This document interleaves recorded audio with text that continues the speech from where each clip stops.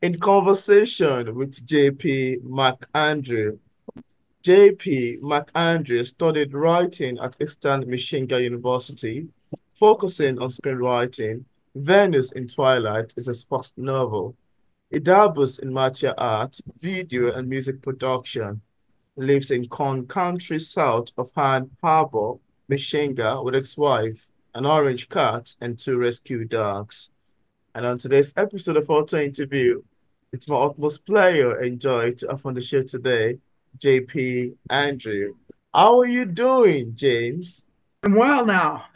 um, how about yourself? I'm doing very fine too. It's lovely to have you on the show today, really. And I think we it's have nice a common background. We have a common object at the background. I'm seeing some guitar right there, and I'm seeing one attached behind me over here, oh, and some behind yes. you too over there. So you're like, a musician too. Sounds like a coincidence. Yes, I have. yeah. Okay. Yeah, that's lovely to know, really. yeah, so JP, could you tell us about your book, Venus in Twilight Love Story? I'd love to ask you, how does this book come about? What inspired you to write Venus in Twilight?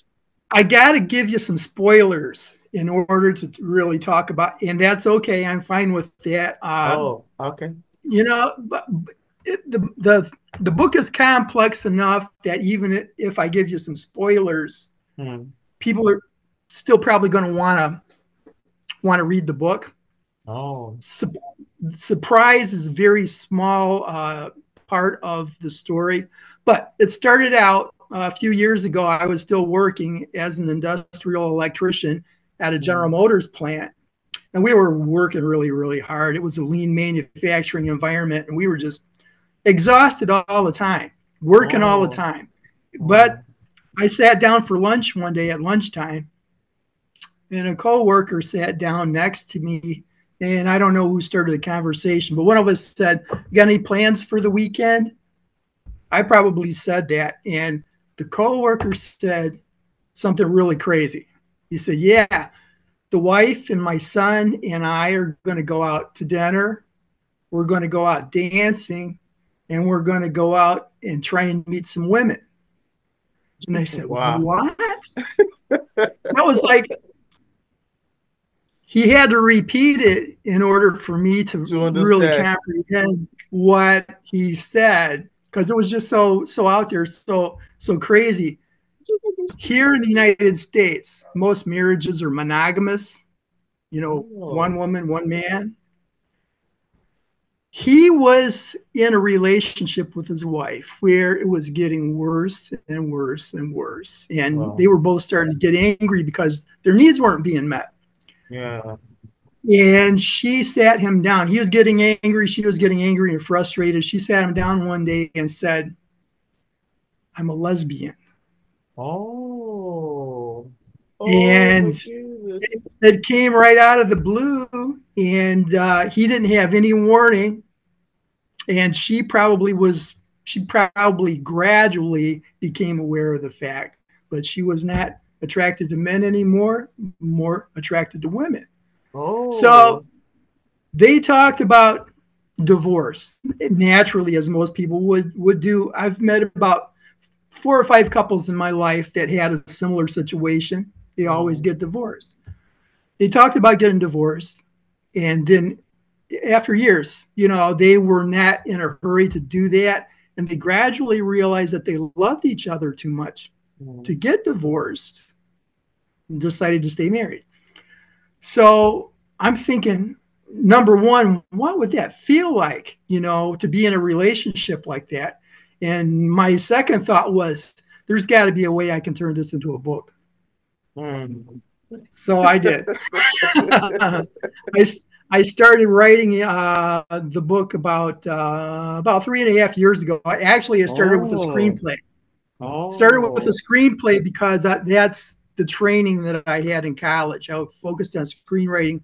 Had a little prose uh, training in prose creative writing too but I was focused on uh, screenwriting. So I wrote two drafts of the screenplay and sent it out to competitions and you know some producers.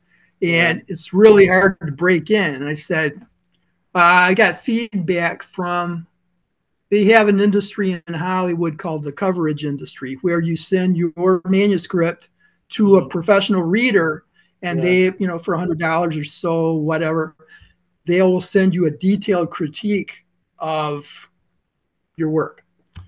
And I got a, a, a, uh, paid for a couple of coverage, and um, both of them said that the story was kind of superficial and there wasn't enough conflict in it. Oh. And, and Hollywood was probably not ever going to turn that into a movie. And I said, fine, maybe I should turn it into a novel now. So yeah. about two years ago, I started writing the novel based on the screenplay. Wow. That's actually a very beautiful concept. I mean, that's a beautiful theme even to explore in a book. Sounds quite compelling. Sounds like an interesting and so astonishing read. I mean, yes, it's an uncommon thing, yep. even. yeah. I don't know about in your country, but polygamous relationships are very unusual in the United mm-hmm. States. As a matter of fact, their plural marriage is not legal in any state yet. They're trying in Utah, where the Mormons, you know, are a majority, mm-hmm. and uh, they're making some progress. And I think it ought to be legal in every mm-hmm. state in the United States. Yeah. Thank you for mentioning. I love the sound of it. And now, for readers who haven't read the book yet, and without giving much information away, could we have a sneak of what to expect? I know you've talked a bit about it, but then could we still have a sneak of what to expect in terms of teams picking up Venus in Twilight? Well, the themes are acceptance, basically, and the mm. endurance of love endurance. There's very there's a little bit of sex in the book, oh. just a oh. little bit to make it realistic. Uh, but I don't consider it an erotic novel at all because it's just a small part of it. Okay. The main theme is the love between the main character and his wife. In spite of the fact that they don't have a sexual connection anymore, they still they're still in love. They still love each other deeply, and they don't. They're very reluctant to um, to destroy that relationship. Wow. And like the real person, the real story that I based it on, mm. they finally, at the end of the novel, come to the conclusion that they'd rather stay together and stay married and date other people. Wow. Wow. That's... So it's it's acceptance of a, uh, a polygamous relationship or poly um, polyamorous relationship acceptance of the main character is autistic, slightly autistic, functioning autistic. So it's acceptance of autism and acceptance of lesbian love, women mm-hmm. loving women, and uh, it's it's all about love. yeah, thank you for mentioning. The, the sound of the book is quite uncommon and quite it sounds quite fascinating actually. It's nice to hear about this. Yeah. Yeah, thank you. Now, I'd love to ask you too, James. You know, as authors, we all have different ways of reacting to feedbacks and criticism of our works. And I'm curious yes. to know your opinion about criticism. How do you react to negative reviews of your books in case you've ever had one in time past? So far, I haven't gotten any negative reviews. I've had um, uh, is available on Amazon, and Kindle yeah. Unlimited, and so far I've had a couple of people stop reading at the incite, inciting incident where the main character finds his wife in bed with the next door neighbor. Oh. Cause and I, I have a theory about that because they are they are such sweet people that this is totally unexpected and it's shocking, but I wrote it so that the reader would be just as shocked as the main character when he discovers it. Oh, wow. It's meant to be a shock. And I think some people, you know, it comes out of left field. Some people cannot handle that. Hmm. So he had two readers on Kindle Unlimited quit right there, and I can track their progress. Oh. so uh, my advice to somebody that wants to, you know, feel the experience, get past that point. It's on page 62, I think. Get oh. past that. It gets better after that. You will oh. not be as oh. shocked.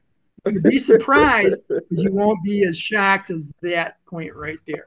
Yeah, well, thank you for your advice. Yeah, thank you for your advice. And I'm hoping that would be reader would love to utilize it. Now, apart from Venus in Twilight, do you also have any other works you've authored or say currently working on? I always have a list of stories uh, that I've been working on ever since I was in college. And gradually I'm knocking them off one by one. I prioritize them in the order of how much fun I think they're going to be to write. Mm. My last work was uh, a screenplay that didn't do very well. oh. when they started up Amazon Studios, uh, Amazon Studios is a real big thing. But when it was a new operation back in 2010, I submitted a screenplay there. And I think it's still got potential. And eventually, I'm either going to uh, rewrite it and send it out as a screenplay again or rewrite it as a novel because I think it's got really good potential as a novel. And I've, you know, dealt with learning curve for novel writing this time. Mm-hmm. And I found out it was intimidating before I started the process because I was used to screenwriters, you know, screenwriting. Oh. But now that I've written the first novel, it's not that hard. I can do it. It's not that intim- intimidating. More words, yes, more pages, but you follow the same principles. Keep your language simple. Just tell the story. Don't get hung up on style. Just persevere, and it's uh, it's doable. So that'll probably be the next thing I do. Oh, wow! This is quite amazing, really. I love your take on this. And now let's talk about inspirations and ideas, which is one of the things that surprises me about our writers, especially novelists like yourself, craft long sentences and bring words together in a way that it makes an eventual great novel. And this always leaves me thinking, how exactly did they got the ideas to write this book? How exactly did they got the inspiration for all of this? And as far as writing is concerned, I would love to ask you too, James. How do you get your inspirations and ideas for your books? Where did they come from? Well, obviously, for this one, it was the conversation with the coworker. Um, oh. I have an idea that I'm outlining right now that started out as research for another idea. What, what I started right about the same time I got the idea for this novel.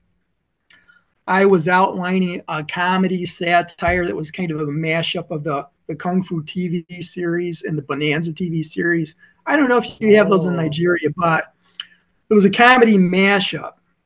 And then I uh, set in the 1880s in the, the American Southwest, where the Chinese cook was actually a renegade Shaolin priest, like in the Kung Fu TV series. Oh. And right about that time, I read an article that had a list of characters that were becoming uh, coming into the public domain. So therefore, you could write them without worrying about uh, being sued for copyright infringement. And I saw that Fu Manchu was uh, one of those characters hmm. that was, oh, you know, fair game for the public. So I said, wouldn't it be fun to have Fu Manchu in this story? Hmm the arch villain you know i don't know if you've seen any of the movies or read any of the comics or any of the books i started researching uh, fu manchu and it turns out that his biggest goal was uh, destruction of the british empire oh. and i said holy cow he's the good guy uh, you know, Ni- Nigeria was a colony of the British Empire, right? yeah, absolutely. Yeah. So, what would what would happen if you realized that Fu Manchu was actually the hero of the story? Oh, that would be. He gets together all these oppressed, colonialized people, colonized yeah. people into a cartel. Yeah. To bring about the destruction of the British Empire. Absolutely. So uh, that's on my list of things to write somewhere oh, in the wow. near future. Wow. That is quite amazing, really. And I love your concepts and your answers to these questions. They really made for an interesting discussion, an interesting read. So thank yeah. you. Thank you for answering. Thank you. I love the sound of it. Thank you. That was quite fun. And now, before we proceed, I'd love you to show the book to the camera just so we see what it looks like.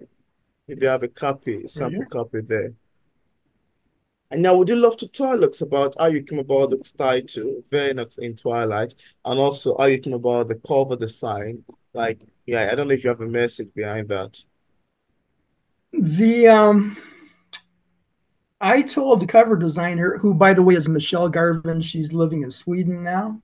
Oh. She reached out to me on Facebook, and uh, I told her I wanted something ethereal and cosmic, um, something something different may have been a mistake because it you can't nail down what genre this is.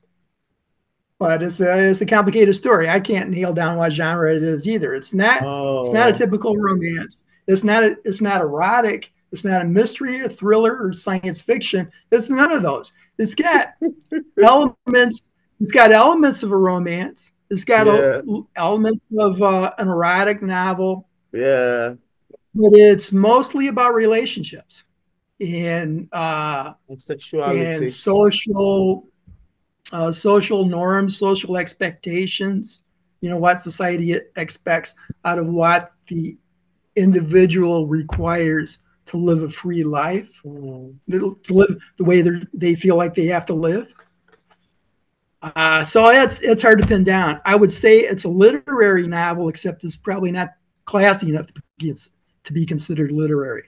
Um, so nice. it's a dilemma. So that's that's the cover we ended up with, and I'm gonna give it another month. And if sales don't start picking up, then we will have to redesign the cover and make it look like a romance. Oh, that's a great concept to get some sales. Well, I, I, I think it would be good to classify it under just American literature, yeah, because there are also okay. different themes in there. I mean, and those yeah. themes are actually expected for whoever is reading. So it's a beautiful one. You can just be classified under American literature, just like we have African literature, Nigerian right. literature. Yeah.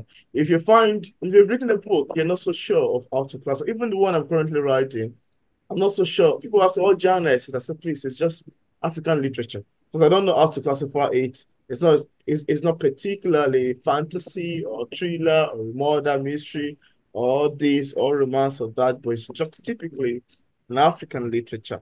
Yeah. So that could go well as an American literature. Yeah. I'm just giving you an advice, really. I will take it into consideration because it seems uh, it makes makes sense. Oh, sounds nice. Thank you. Thank you. And now, is there anything that you'd love to share with the viewers about your book that we did not mention in this interview and I'd love the viewers to know? I think I've covered just about all the important uh, qualities of the book. Uh, um, I I don't know what to add at this point. yeah, hopefully you might want to give us some advice for writers who are still struggling with publishing a book. If you have any words for people like that, just persevere because you think you think the writing is hard just wait till you get involved in the marketing it's a nightmare oh. and it's a that's a learning curve that was unexpected for me yeah. i thought you know write a great novel put it out there and magically as if by magic people would start buying it hundreds at a oh. time you know no it doesn't happen for anybody i was checking i set up uh, a, an account for Amazon ads yesterday, and I was comparing my sales to other writers that I respect. Robert A. Heinlein, the science fiction writer. Charles Baxter, the literary. Uh, he was uh, very popular 10, 15 years ago, the author of um, The Feast of Love. He's not making any money from his books either. Oh. You know, so it's, it's not just me. It's a struggle for everybody. You know, we don't we all know that writing itself is not an easy task, but then to me, the writing part to me sounds a bit easier compared to the marketing because marketing is where the actual work lies in. That's where the all of the work lies in. And again, you know, the success of any business, of any book relies on the marketing, you know, how well people are aware of the book, how, you know, how exposed it is, you know, things like that. That's yeah, that's uh, so it's quite it's quite relatable actually and quite understandable. Thank you for sharing.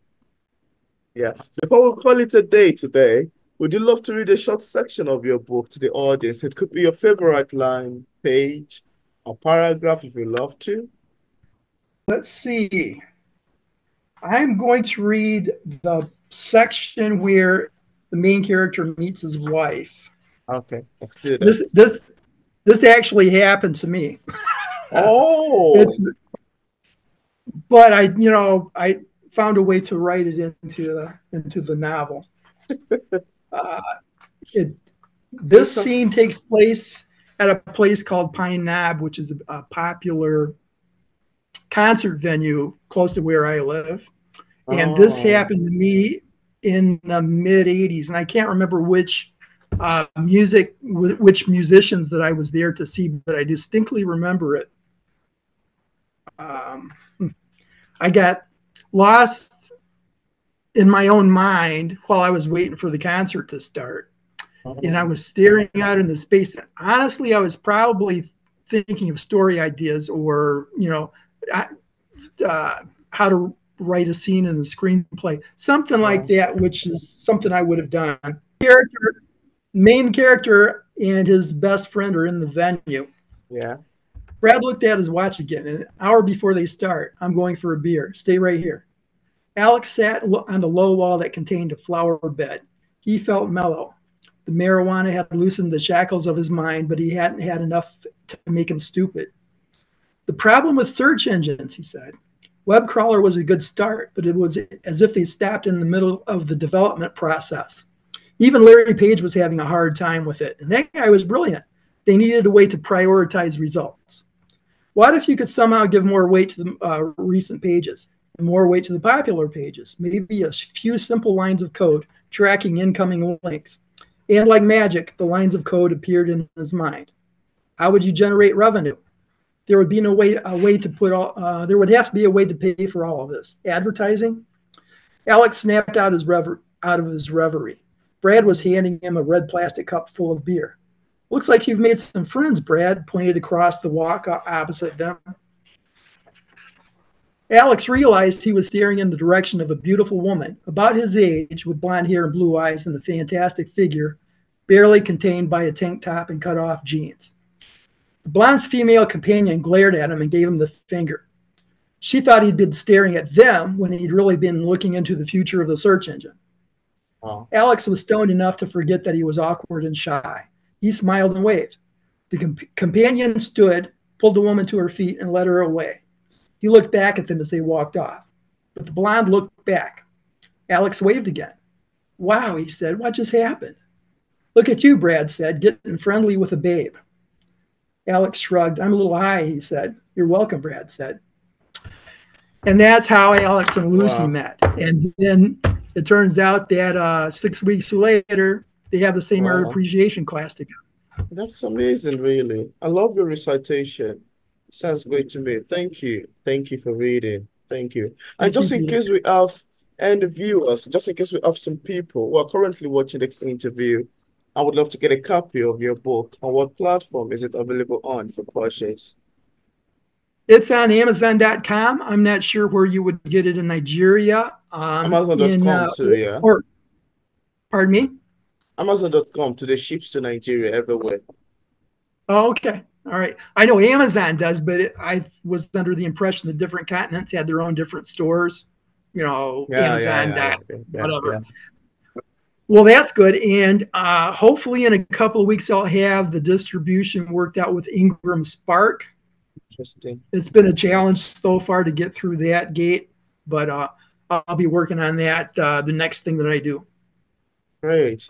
And I left a link in the description part of this interview where interested viewers can get a copy of JP McAndrew book directly on Amazon and also on other platforms. So thank you so much, James, for accepting the invitation to be featured on P English Literature. It's awesome having this conversation with you. Well, thank you, Peter. It was a delight. Uh, I'm sorry for the technical problems before we started. No problem, yeah. But, you know,